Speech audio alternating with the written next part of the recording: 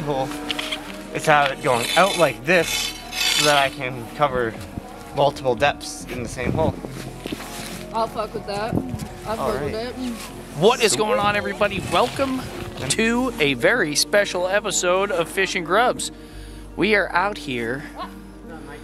First ice. We are in Maine. We drove like five and a half hours north. We're on this small pond here. And today we're going to be trying to sight fish brook trout. So, something that we've never done in our lives.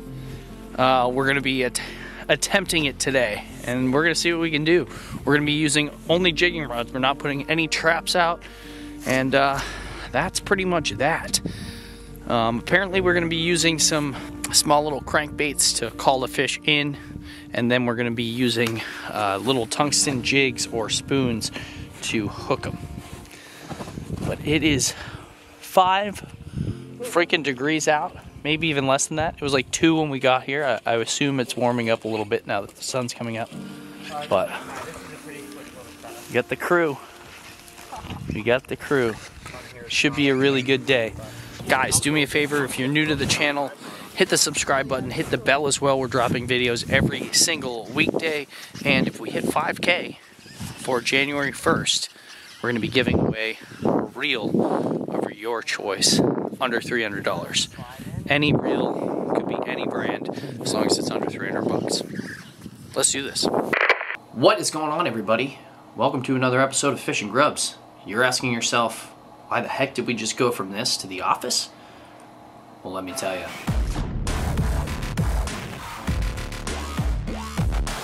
All right, folks, today's episode is not what we wanted it to be. In fact, we thought with the trips we had planned that we were going to have two epic ice fishing videos, and I thought I was going to record a one year review on the Helix 7 all season package.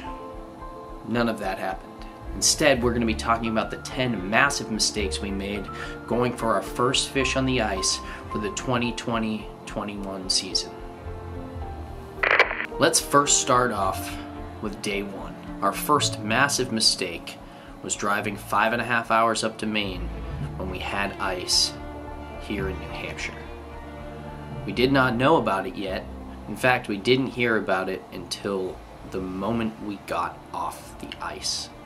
What we did do is we did do some really cool stuff. Our buddy Riley taught us how to cut sight holes, which I do believe you cannot do in New Hampshire, but up in Maine, we were able to do that. So we cut these big sight holes. He talked all about it. We have some great footage of that. And here comes the fun part. Freaking using that chisel right there to cut a big giant square in the ice here. Nuts. Absolutely bonkers. And what's cool now is that it's gonna take about maybe two or three strikes, and this thing will be broken off. There we There go. it is. And then here's the fun. Just move Slip it. all on there. Yo, See it under you. Oh that's so cool. That's so Look at it go. Look at it go. But really, we should have gone to our honey hole. So that brings me to our massive mistake number two. Instead of doing what you should do on your first ice fishing trip of the season, going out to a place you know and targeting species that you know how to fish, we targeted a species that we had never targeted before. Now, I've caught them through the ice pretty much accidentally while targeting other fish, but I've never actually gone to target brook trout. We also went to a pond that only had brook trout in it. Now, although Riley's done this before, he had never been to this pond, so that adds on to the mistake. Um, you know, we ended up driving five and a half hours to fish a new pond for him and a new pond for us, and that spelled for disaster for that day. I've never been skunked my first day of ice fishing, and we got skunked. Now, Riley did get one. This is one of his specialties, so he was able to move around and find the fish. And then actually ended up getting one more after we moved to this area. No.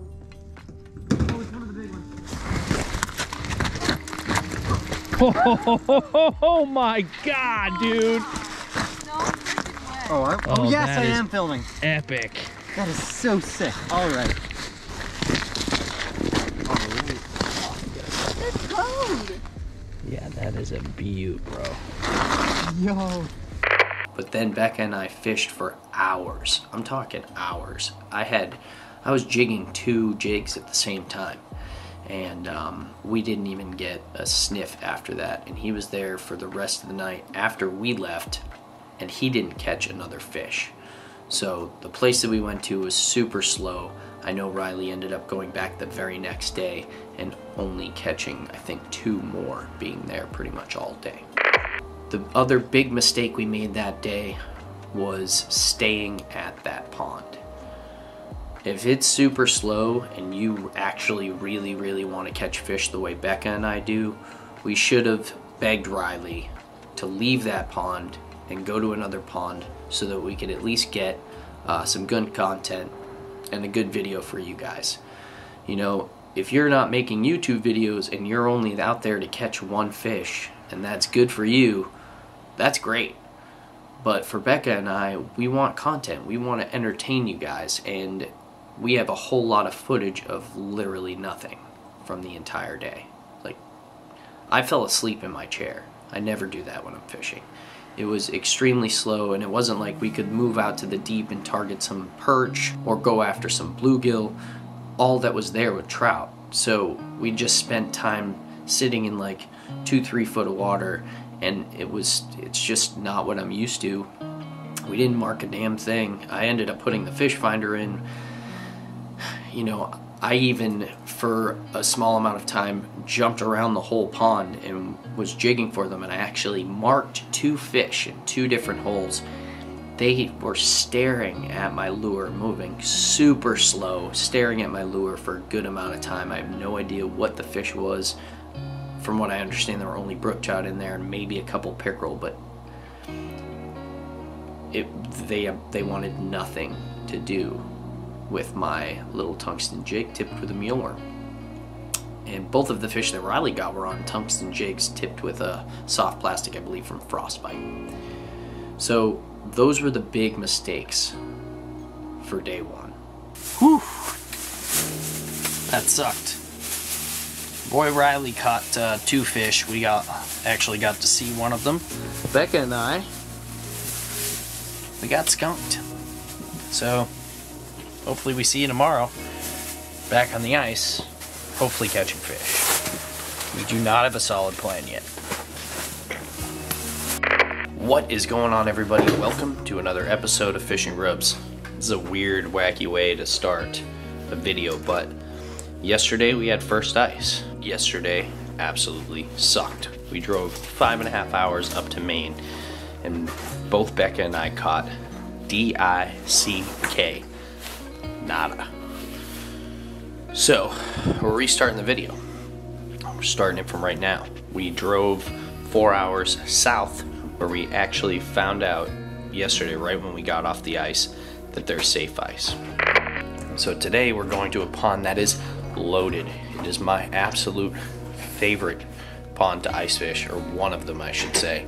And it has everything you could possibly imagine, except for smallmouth. So we're going there today, and hopefully we crush it. Becca, what do you think? I'm thirsty. Becca's just waking up. I am too, but I took a shower, so I'm a little more, more a little bit more awake. I'm gonna go get the car cleaned off, and we're gonna do this. Let's go. Guys, I forgot to mention today is uh like the first major snowstorm of the year. So we're gonna be fishing an extremely low pressure system, and it's gonna be like snowing all freaking day. I live for this shit. Let's go.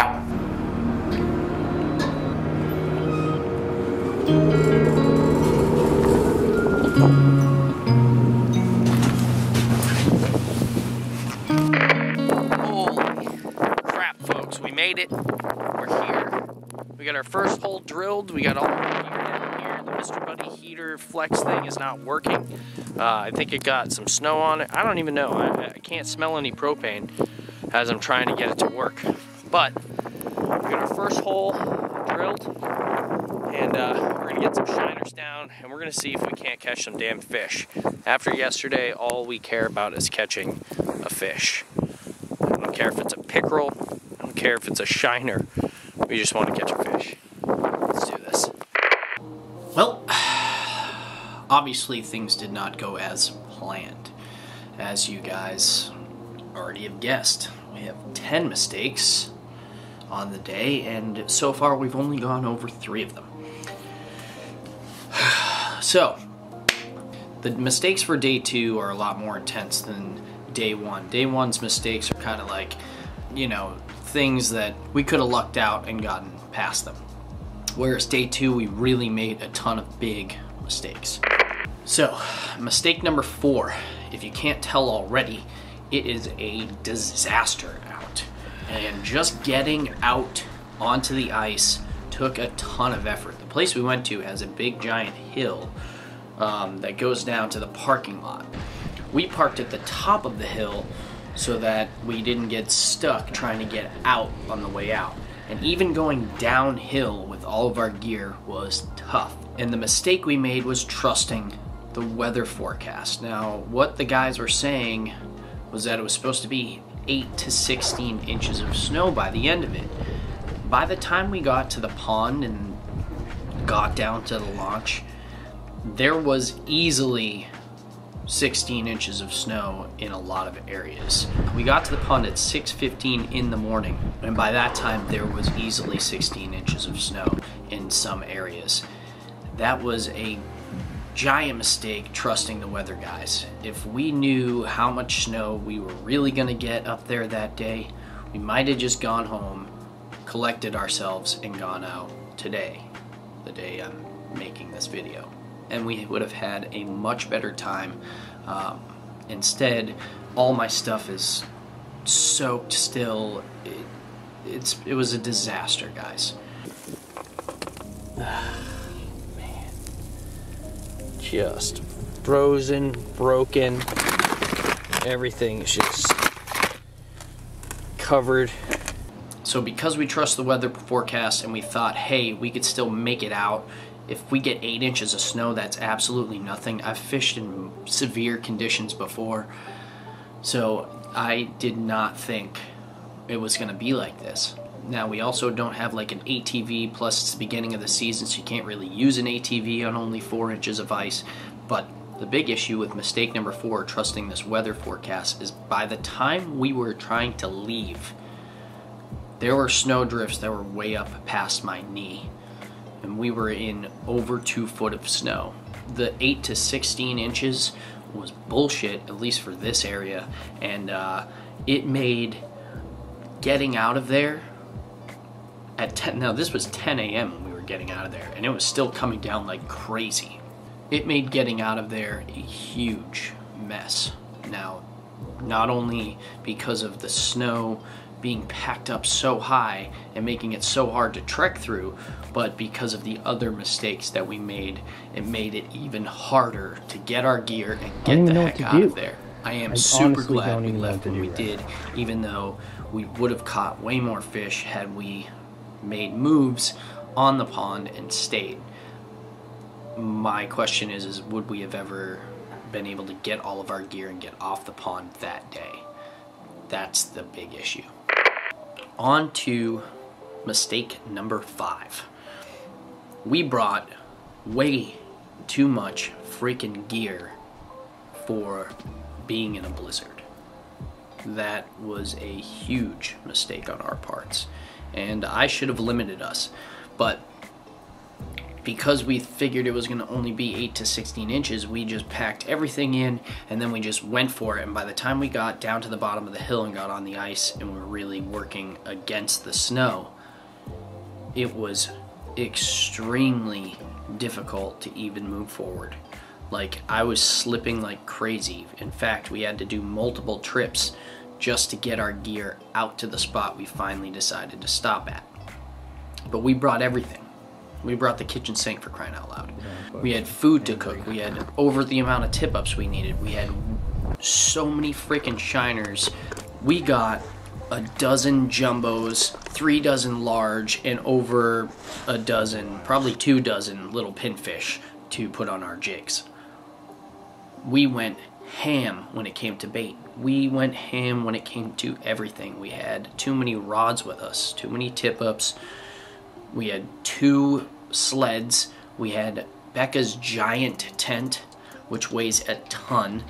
When, if we had planned correctly, we would have just brought mine. My pop up tent, which would have been the tent slash a sled together with most of the gear in it, we left that back at home because we didn't foresee all of this happening. We brought the big Mr. Buddy that we just got Becca, and they sent her the Mr. Buddy Flex cooker thing, and we brought that as well. Didn't need it, shouldn't have brought it. All of this was just extra weight. I should have brought one rod out with me. Instead, I brought my whole rod locker. We brought a little cast iron skillet to cook the food on. We brought a bunch of drinks, a huge thing of water. I mean, we could have limited the amount of stuff we brought by a ton. By a ton. And it would have made trekking out there and trekking back a lot easier in this blizzard. We way overpacked, and that was a giant mistake that we made, especially once we get further on into the mistakes. Having all that stuff, once I made another really big mistake, and that was all me. Once that happened, it was just, it made everything weigh even more. So we had more snow on the ground when we were leaving, plus it weighed double. Some some of the things triple what they weighed when we brought them out. Number six, as you heard me say, when we finally got out on the ice and was getting everything set up, one of the big mistakes we made was not covering up the heater. This Mr. Buddy Flex Super Flex heater um, got a bunch of snow in it because it was a freaking blizzard. And by the time we got the shelter set up and everything in the shelter and tried to get the heater going, it was covered in snow the whole heater part. I couldn't even get the flame to light so it wouldn't start. And we tried a ton. We even tried plugging the Mr. Buddy heater like cooker thing in and getting that to start, but that wouldn't start either. Becca even took the heater up to the car, and I'm not I'm going to add this into number 6, but Becca took the heater back to the car, turned the car on, got it nice and warm, melted all the snow, got the heater turned on, and then on her way back to bring it out, she was trying to get back to the shelter as fast as possible, so she started running through the super thick snow, and she fell and filled the heater with snow again. So we're out there with no heat. Did you fall? What? Did you fall? Yeah. I ate shit. Well, that's not going to turn on then. No shit. Fuck. Mistake number seven. This combined with another mistake are two of the biggest mistakes we made on the day. Number seven, we set up camp before checking the depth or looking for fish with the fish finder that we had. So after I set up a bunch of traps and got into the shelter and checked the depth, we were only sitting in 4.4 feet of water. And um, for jigging, for the fish that we were going for, that's not where we wanted to be. This place that we went to doesn't really get that deep, about maybe eight and a half foot, but we wanted to be in the more six and a half to eight range. And if we had just hiked another maybe 50 yards, we would have been sitting right in the range that we should have been in to set up the shelter. But going back to number five, we had way too much gear. So by the time we even got as far out as we did, we were just like totally spent and we were just saying, let's get things set up right here. And because it was still dark when we got out there, because that's what I like to do, I like to set up in the dark. We just set up the tent first, got everything in the tent, drilled the tent in, and um, kind of made our permanent home before we even knew where we were sitting. And that is a huge mistake, guys. When you're setting up camp, you need to know the depth you're sitting in. So even if you've been to the pond before and you think you're in the right depth, you might want to drill a hole and check and make sure you're sitting where you want to be sitting before you go ahead and set up camp. That was a giant freaking mistake, one of the biggest mistakes made on the day. Mistake number eight. When I set up the tip ups, I said I spread them out as I normally would and um, I put out six. Now we could have had ten between the two of us. I put out six, and honestly, in the conditions that I didn't really realize were as tough as they were, that was really stupid of me. Especially spreading them out as wide as I did, and putting out as many as I did. I should have put up like three tip ups and had them all really close to camp because spreading them out the way I did every time I had to go check a flag, which was only a couple times, and they were wind flags, it was just a treacherous walk through the snow. And as the day progressed, it just built up more and more and more. In fact, I had one flag go off that I didn't even know went off because there was so much snow on top of the trap that the flag only went up about that much. And so it was like sitting up off where it was supposed to be, and the fish was gone and the bait was gone. And that's just that's just what happens when you make dumb decisions. I also should have only used certain type of tip ups um, in that snow, the ones that would have gone off anyways. And that I mean, it was just mistake after mistake after mistake. If we did things right, we would have set up another 50 yards out, put up like two or three traps right around the hut, and just strictly been there to jig. And only brought those few traps and only brought a couple jigging rods and just left a ton of gear in the car. But you live and learn, right? This brings me to mistake number nine, which is the biggest mistake I made on the day, and this was all my fault. Before we set up the camp, I took a shovel and I shoveled out the entire area that I wanted to put the shelter. Put the shelter down, got all set up, went out, did the tip up thing. After I figured that, you know, things were good and settled and ready to go and I wanted to get into the shelter, Becca was still away trying to get that heater working. I went into the shelter. Meanwhile, all of our stuff is in the shelter and on the ice. Most of it.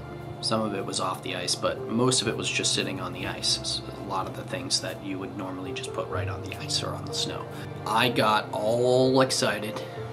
I took the ice auger, I brought it inside the shelter, and I drilled two holes one for me, one for Becca.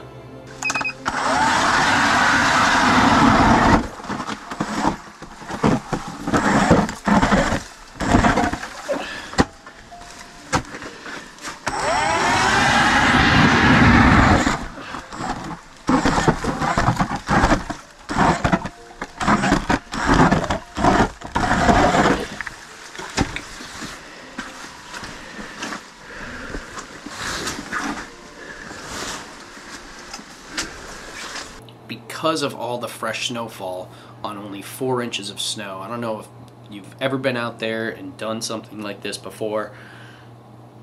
When there is a ton of snow, especially on ice that is still kind of thin, basically what happens is the, the pressure of all the snow coming down on the ice is pushing the ice down. And when you drill holes, water comes. Within seconds, the entire shelter was filled with two inches of water.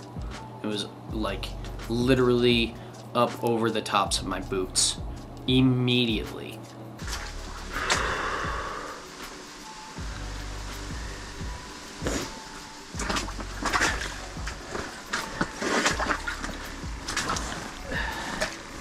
everything we had on the ground was soaked. We were trekking, I was trekking through all the water. I'm trying to gather everything up off the ground because it's all just getting soaked. I left my rod locker too the entire time, even like after I cleaned up everything. I left my little rod locker that's filled with styrofoam sitting on the ice, like this way. The whole bottom of it, where the water was, filled. And then after I took it out, when we were trying to trek out of there, it froze and that thing was super heavy. So everything that was on the ground when I did this got absolutely soaked. My bibs on the bottom, every time I like stepped outside, all the snow Like, was caking literally. on and freezing because I had water on my bibs. So everything That's- like by the time I, can't. left there, my boots and so my bibs had connected because of all I the icy even- water and snow building I up have so much. over and over and over again. It formed like this giant layer. The whole front of my bibs were frozen, and it was a freaking mess. I could put, keep putting like mistake number 11, 12, 13 on just this one because of all the bad things that happened with that one mistake. After a while, because I was out there for a little bit, Becca got back. We were trying to decide whether or not we wanted to move the shelter or to leave.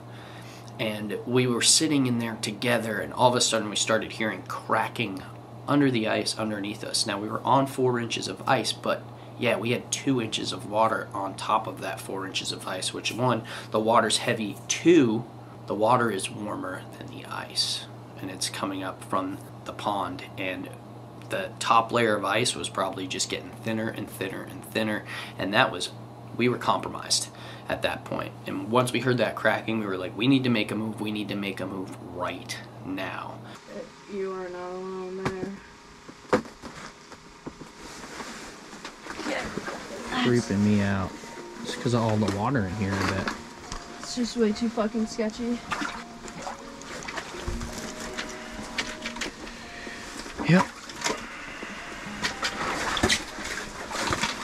Don't know what to do.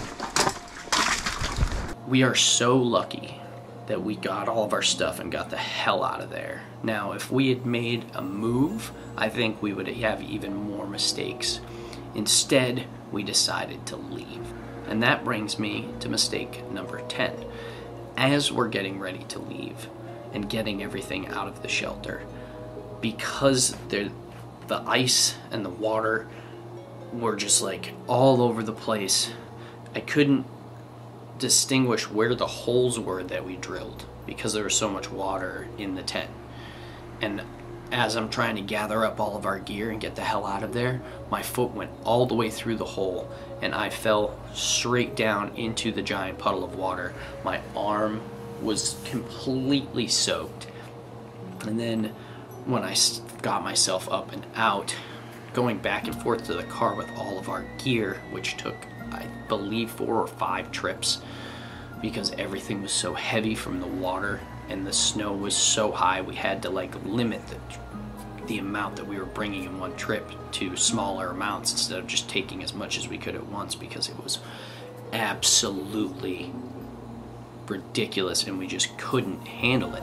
My arm was Can't- frozen can't even- solid. It actually took both Becca and Like, I to won't- get my hoodie off of me when we It won't- finally finished and packed the budge. car and were ready Oh, to go. oh, yeah, it's like because Play-Doh. it was like frozen, frozen stiff. Really strong Like, it, it Play-Doh. looked like like it moved a touch. It was like kind of like super hard Play-Doh or something, some sort Yeah. of like magic substance. Unfreaking believable, folks. It was freaking insane, guys. Absolutely insane. I hope you guys learned from this. I know I learned a ton from this, and these are mistakes that I would not do again. You know, if I'm going out in a blizzard, I'm bringing minimal gear, small, minimal gear, so that it's easy to get out, easy to get off the ice, We're only going to be jigging, maybe a couple tip ups. We're not going to bring a shitload of shiners. There's so many things like dry food, nothing heavy and wet. Like everything needs to be thought about precisely before going out in the conditions that we went out in.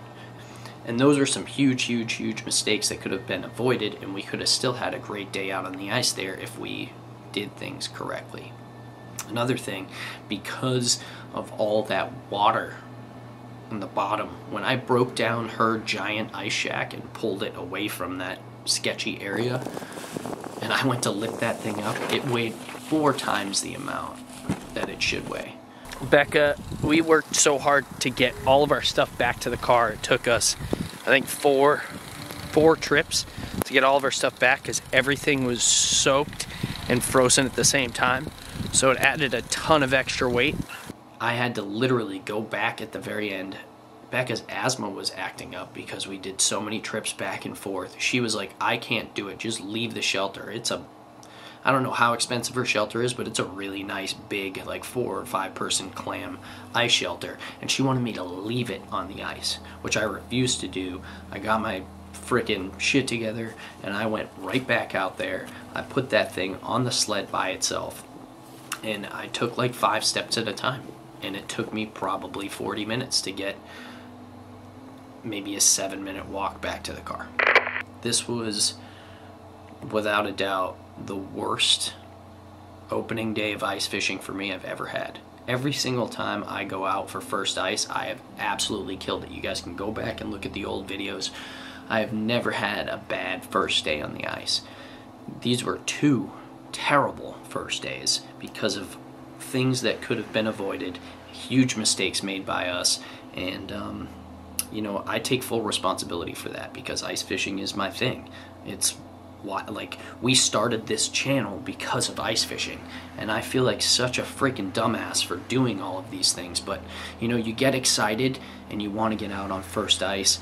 And then you know the snowstorm's coming and you're like well this is all this is the time we have. So let's go let's go let's go let's go and let's do it anyways. And we just went instead of preparing and doing what we should have done before going out there. And um, you know like that's just something i won't do ever again. We will be way more prepared next time, and um, next time we're gonna get some revenge. Like we need redemption for this day. All right, guys. So there are a couple things that we did right. A few things. I think I, I got six things on here that we did correctly these two terrible days. Number one, and my favorite thing of all the things, is that amongst all this freaking chaos, while Becca and I were trying to talk about what the hell to do, she was saying that we uh, like I'm like we shouldn't have put this many flags out, blah blah blah. She was like, yeah, I mean you're not even gonna see the flags go off. We looked down, and the flag that she said we would never see go off, because of the type of flag it is, was up, and it was spinning. And I set the hook, and this is what happened.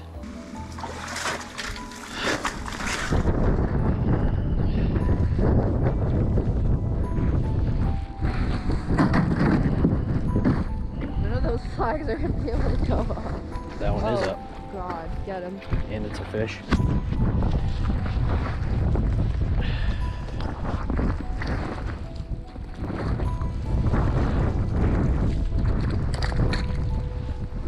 First fish on the ice.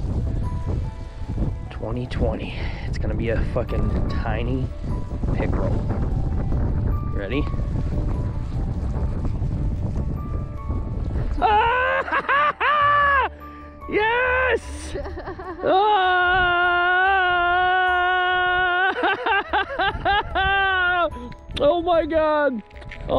My god!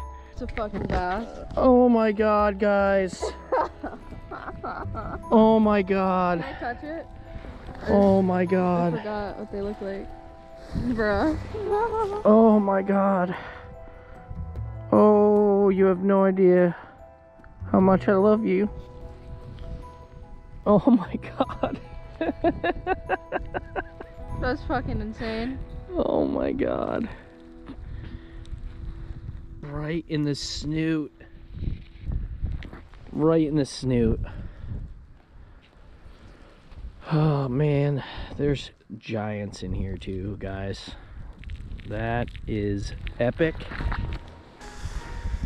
All right, little bro, you have no idea how much I love you.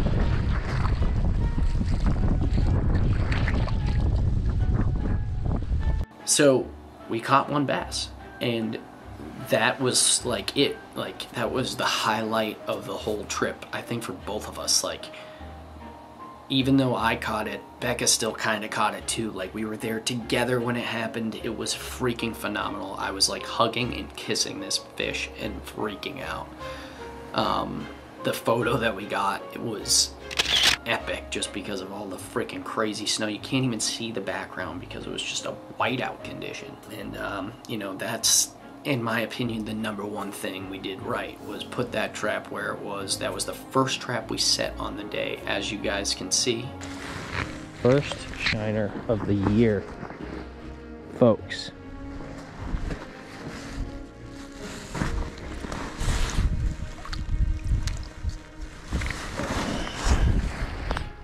and uh, I'm pumped. I'm pumped we got a fish because after all the shit we had been through and we were about to pack up and leave, getting that one fish sure did put smiles on our faces. Number two, and probably more important than the bass, but obviously didn't put the smile on my face the bass did, we got out of there in time. If we had stayed any longer, like even another hour or two, that snow wasn't supposed to stop until four o'clock. And while we were driving, it did not stop. Like it was coming down hard the whole time. The wind was blowing towards the launch, which is where we had to go. And it was all coming like literally straight at us from across the pond. The snow drifts were two foot plus of snow. It was absolutely ridiculous. And if we'd stayed longer, those snow drifts would have just been bigger and we would have had more to trek through and it would have just been tougher things would have been more frozen it was a shit show to begin with trying to leave so if we had stayed until darkness the temperature drop like forget about it. We did the right thing in my opinion and in Becca's opinion and we got the hell out of there when we did and that is huge. That is one of the best things we could have done. Another thing we did right was get all of our gear. Even though like it was super tough, and both of us, I think, wanted to just leave everything and just leave. Um, we still managed to get all of the gear, including her 4,000 pound ice shelter that was just super waterlogged and then frozen. So it was ridiculously heavy. We managed to get all of it off the ice, into the car, and out of there.